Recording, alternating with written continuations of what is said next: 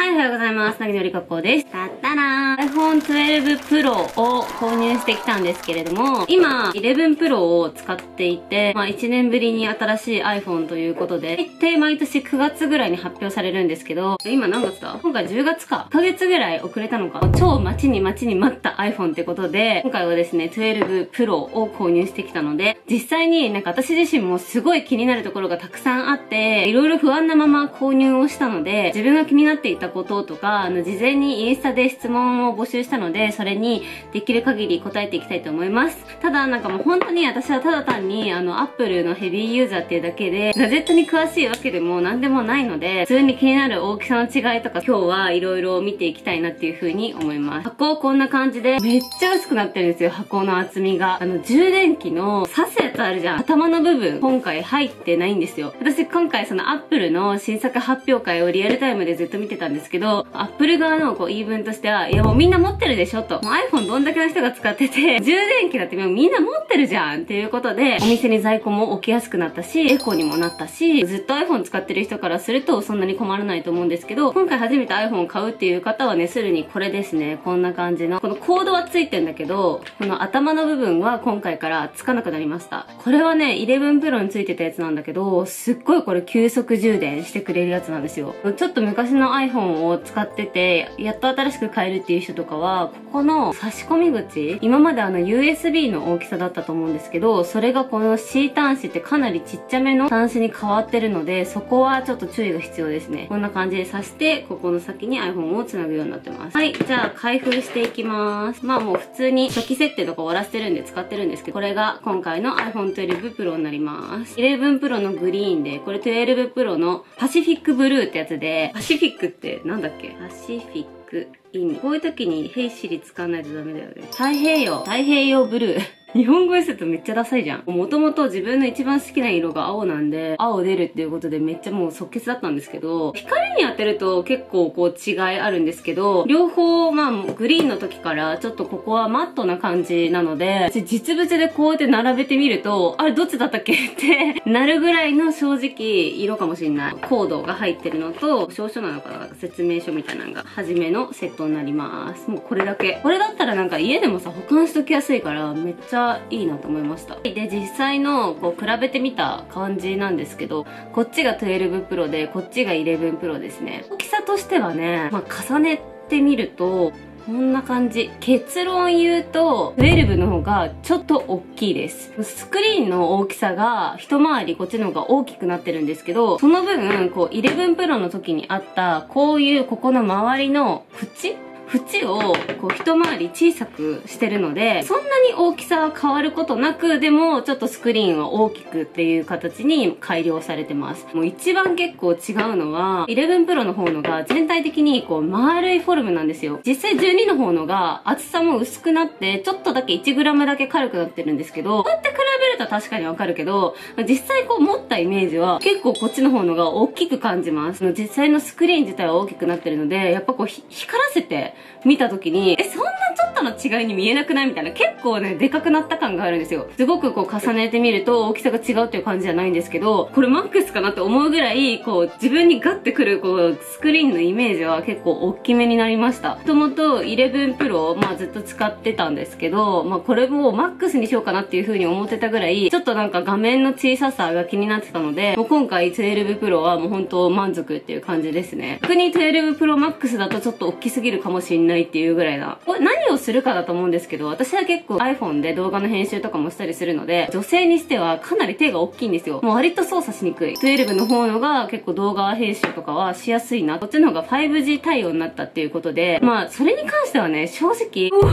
早っていうほどじゃない。まあそもそもね、私のね、家が 5G 対応じゃないんで、対応してる地域に住んでる人とか、いいのかもしれない。5G 対応、東京駅の辺かなはしてるので、まあ確かに、すごいサクサク 5G って書いてある時には、進むんですけど、実際に自分が普段生活してる生活圏内で 5G が今んとこ使えないんで、もうとりあえずあの、うちの事務所は、あの、東京駅の方にあって、そこだと使えるんで、ディズニーチケット取るときはね、事務所で取ろうみたいな感じで思ったんですけど、大きさの面でいくと結構皆さん気になるのこのケース使えるのか問題だと思うんですよ。11 Pro の方のケースでして、結構まあみんな一番よくあるこのケースのサイズだと思うんですけど、11 Pro だとぴったり収まるんですけど、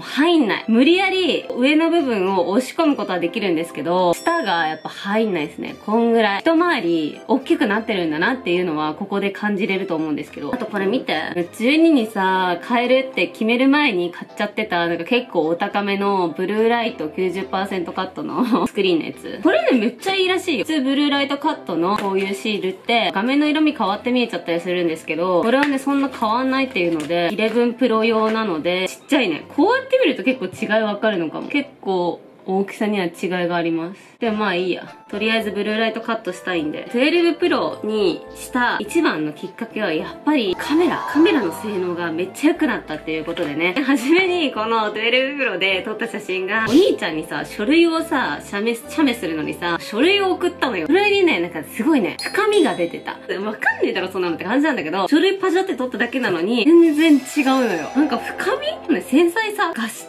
もうとにかくね、すごい違うねってなって、送った側のお兄ちゃんも、確かに写足めっちゃ綺麗だねみたいになって、全然違うんだな、みたいな。ステラル越しの、はい。で、同じ角度から、あー、違う違うよ。ちょっと待ってよ。色味光の取り込み方が、こう、鮮明というか、リアルに近く見えるのが12 Pro って感じがする。本当に若干の違いなんですけど、11 Pro の方のがちょっと近寄ってる感じがする。後ろとのボケ具合、境目の部分が11 Pro の時って、映したいところ、ぼかしたいところがあったら、ここの境界線が結構はっきり見えてたと思うんですけど、そこがなんかグラデーションみたいに、あの、そんなにパキパキってこう分かれないようになってる気がする。実際目の前にあるような感覚で、あの、写真が撮れるのは12の方だなっていう風に思う。カメラ結構ママニアなんで、カメラたくさん持ってるんですけど、本当にもうこれ一つで30万とかのすごいいいカメラ。あのカメラで撮ると被写体を綺麗に写すっていうのはもちろんなんですけど、周りにある空気感、実際にこう光の入り方とかをすごい捉えるのがやっぱり上手なんですよ。もちろんそのカメラと比べたらカメラの方がいいんですけど、11と比べた時に全然その写真の持ち味の出方が違うんで、結構写真をこだわって撮りたいとか、今ってプロのカメラマンさんとかもそうだし、なんか実際私ドラマの現場とかで iPhone で撮ったりすることってあるんですよ。それぐらいやっぱりなんかこう、実際直結して自分の仕事 iPhone のカメラ機能を使うとか、なんかそういう方とかだったり、まあそれこそ YouTuber で iPhone を使って撮ってるっていう方とかだったりしたら、もう本当にすごいおすすめだなって思う。今までは結構やっぱりなんか iPhone 独特の色味の出方というか、特に人を写した時って結構 iPhone ってね、だから独特な色味が出て分かりやすかったんですけど、すごいなんかその場の空気感をちゃんとこう捉えてるような写真に変わってますね。今まで結構暗いところとかで撮ったりするとボケちゃうっていうのがあったんですよね。それがまあ今回軽減されているはずということなんで、ちょっと部屋を暗くして撮ってみたいと思います。はいこんな感じ暗くしてみました。もうこのカメラやと全然映らんね。逆光をあの作ってみようかと思いまして。えー、11 Pro ですね。11 Pro と撮ってみます。あ、すごい。貝殻の方に焦点がいっちゃうと、ダッフィーほぼ映んないです。でダッフィーの方を映すと、まあ、全体的にちょっと明るくなって、両方何があるかわかるみたいな感じかな。あ、でもやっぱりすごいあの画質がザザザザザって一気に荒くなるっていうか、あのダッフィーの輪郭が全然見えませんね。ダッフィーで比較してオタクにしかわかんないものな。はい、こんな感じですね。続いて iPhone 12はいかがでしょうか頼むよ、これもうこのために買ったみたいなものなんだから、本当に。はい。えー全然違うんだけど。ちょっと待って、これはさすがに違う。違いすぎる。え、てか昼？みたいな。今、今昼だけど、あの、暗い部屋で撮ったと思えないぐらい、カーテンから太陽の光が差し込んでるレベルには、あの、綺麗に明るく撮れる。え、なにこれ？全然違うじゃん。あの、あんなドヤ顔で発表会で説明してるだけあるなっていう。これはね、全然違う。緑だとどうなんだろう ?11。ああ、なるほど、なるほど。まあ今まで通りな感じで。なんていうと、昔のテレビみたいな。なんか全体的にこう点が見える。あの、わかる？色の点が見えるみたいな。なんか、荒いな、みたいな。あー、荒いですね、みたいな感じする、するかも。それに比べ。え？全然違う、全然違う。まあ確かにこっちも粗さはあるんですけど、すごいなんていうのかな。あの、細かい、やだ肌荒れまで見える。さっきよりも断然全体的な光のイメージも明るくなってますね。私、ディズニーで Vlog 撮ったりすること多いんで、あの、ディズニーって夜になると光が本当に全くないんですよ。で、その街灯のところの光だけ撮ると、もう、あの、全く11 Pro の時には、あの、Vlog 見てくださった方はわかると思うんですけど、もう全然違う。これだったら結構安心して持っていけるなっていう。まあ、外カメに関してはね、今まで通り、あの、倍率も0.512っていう感じでね、あの、引きでも撮れるし、よりでも撮れるよっていう。あの、インスタのコメントで、暗いところでのポートレートは結構差が出るって書いてあった。うわ、自分、自分、やめて、本当に。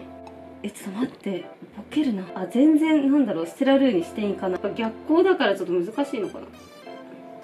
おいおいおいおいフラッシュを焚くなよ勝手に。まあなんか微妙に差はわかる？あのダッフィーとのさよし。はいチーズ。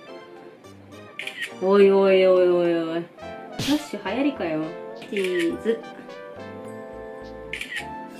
あかわいい。